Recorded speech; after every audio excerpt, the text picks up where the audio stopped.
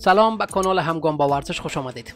شکست در دیدار برگشت برابر بایر مونیخ و حذف از لیگ قهرمانان اروپا باعث شده است تا سران بارسا اخراج سرمربی این تیم را بررسی کنند با اتمام شب دوم هفته دور گروهی لیگ قهرمانان حذف دو تیم اسپانیایی دیگر نیز قطعی شد. سرمربی تاتنهام در واکنش به تصمیم عجیب داور هالندی به شدت از کوره درفت و جریمه او کارت سرخ بود.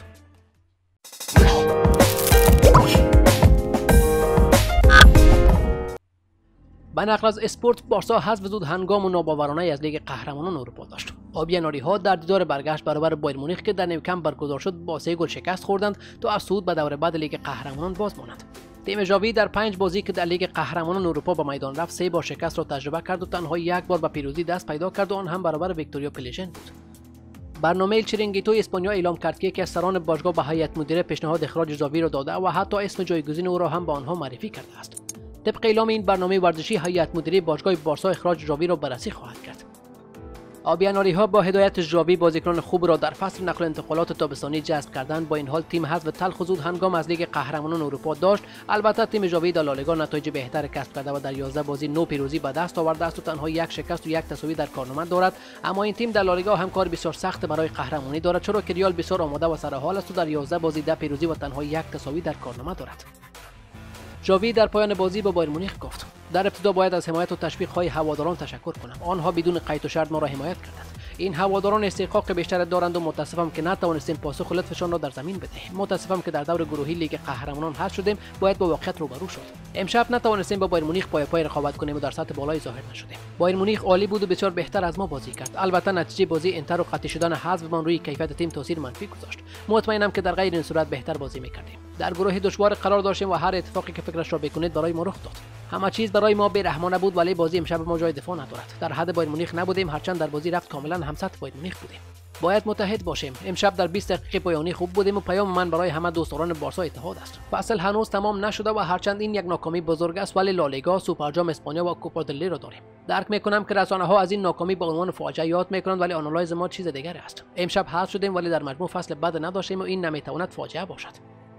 مارک آندره ترشتگن گلر بارسا هم در پایان بازی گفت. حس ناامیدی مطلق داریم می‌دانستیم شانس صعود نداریم ولی در هر صورت شکست دردناک بود. یکی از اهداف مشخص ما صعود به یک هشتم نهایی لیگ قهرمانان بود ولی حالا باید به اهداف دیگرمان فکر کنیم. باید تمرکز اصلی را روی لالیگا بگذاریم. واضح است که این ناکامی روی ما تاثیر منفی خواهد گذاشت ولی باید سعی کنیم اثرش را کمرنگ کنیم. پیروزی اینتر روحی ما را خراب کرد و ما برای غرورمان بازی کردیم هرچند که در نهایت باختیم. در سطح بایر مونیخ کار نکردیم و در لحظات به ما گل زدن که برگشتن به بازی برای ما دشوار بود. حالا مهمتر از همه چیز این است که اجازه ندهیم این ناکامی روی کیفیت بازی ما در لالیگا اثر منفی بگذارد.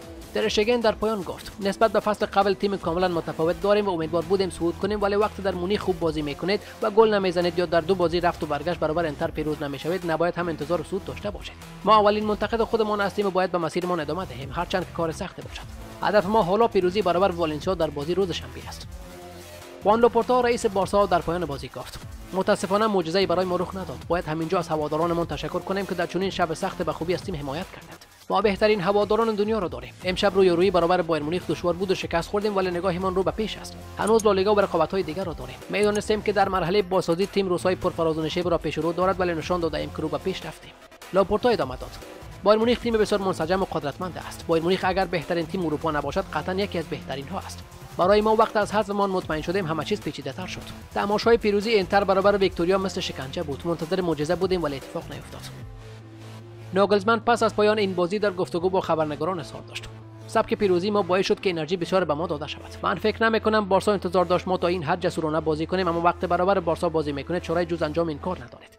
او با اشاره به نمایش خوب تیمش در این بازی گفت ما دو گل عالی زدیم و در آخر هم یک گل دیگر اضافه کردیم. با آنها اجازه ندادیم هیچ شوت در چارچوب داشته باشند. ما با اشتیاق انگیزه بسیار دفاع کردیم. این تیم امشب قدرتش را نشان داد. سرمربی بایر مونیخ درباره صدرنشینی مقتدران تیمش اضافه کرد. ما 15 امتیاز از 5 بازی در دشوارترین گروه لیگ قهرمانان داریم. به دنبال قهرمانی در این رقابت ها هستیم اما باید به این مسیر ادامه دهیم تا به هدفمان برسیم. این اولین قدم بود اما قدم های بیشتر در راه است تا بتوانیم در پایان فصل به جام دست پیدا کنیم. دیشب بارسلونا و اتلتیکو مادرید از صعود به یک هشتم نهایی لیگ قهرمانان باز ماندند. بارسا که قبل از شروع بازی برابر بایر مونیخ و به دلیل پیروزی انتر برابر ویکتوریا پلژن از از خود مطمئن شده بود در نیوکمپ برابر بایر مونیخ با سه گل شکست خورد. از گروه بارسا تیم های بایر مونیخ و انتر راهی دور بعد شدند. در متروپولیتانوی مادرید نیز اتلتیکو میزبان بایر لورکوزن بود. و برای امیدوار ماندن به صعود باید برنده می‌شد اما در نهایت با تساوی دو دو متوقف شد. در این بازی یانی کاراسکو یک پنالتی را در دقیقه پایانی از دست داد. در نهایت کلاب بروژ و پورتو راهی دور بعد شدند و اتلتیکو برای رفتن به لیگ اروپا باید در هفته پایانی پورتو را شکست دهد دو شب پیش نیز سویا از صعود به یک هشتم نهایی باز مانده بود. سویا با وجود برتری 3 0 برابر کوپنهاگن شانس صعود را از دست داد و تیم‌های سیتی و دورتموند بالا رفتند به این ترتیب فقط رئال مادرید با عنوان تیم اسپانیایی در یک هشتم نهایی لیگ قهرمانان حاضر خواهد بود. مدافع عنوان قهرمانی دو هفته پیش صعودش را قطعی کرده بود ولی برای صدرنشینی باید در هفته پایانی سلتیک را شکست دهد.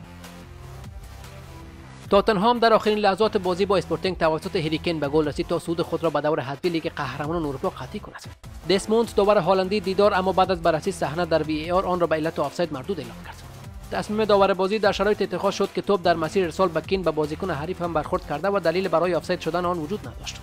امرسون کسی که پاس را به کین داد حتی در تصاویر فریز شده عقبتر از او نشان داده می‌شد.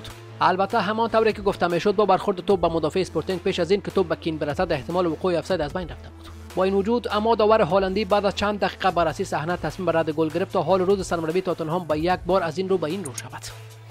کنته که از comeback در دقیقه و قطعی شدن صعود تیمش سر از پا نمیشناخت مثل شخصی که خود گل زده در کنار زمین گل کین را جشن گرفت. او اما بعد از اینکه با استرس لحظات بررسی صحنه توسط داور را تماشا کرده و از تصمیم او آگاه شد از کوره در رفت و اعتراضات شدید از خود نشان داد که با دریافت کارت سرخ و اخراج از کنار زمین انجامید او در پایان مسابقه از بی‌عدالتی صورت گرفته علیه تیمش انتقاد کرده و گفت دوست دارم بدانم آیا در ورزشگاه دیگر و برای یک تیم بزرگ دیگر هم می توانند چنین صحنه‌هایی را آفساید بگیرند؟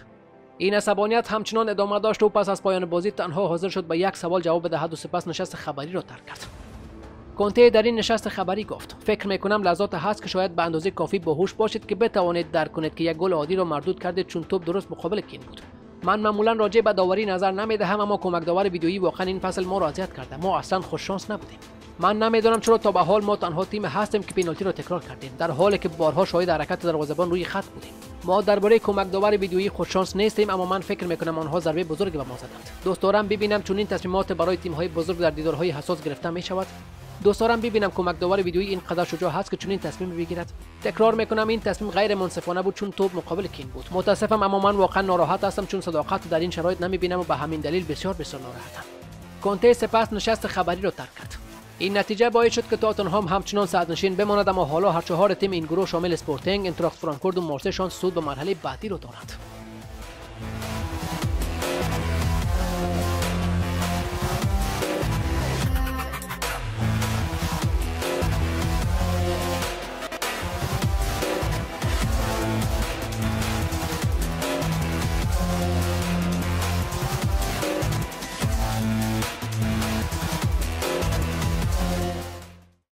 سپاسگزارم از امراهیتان. در پناه خداوند بزرگ باشید.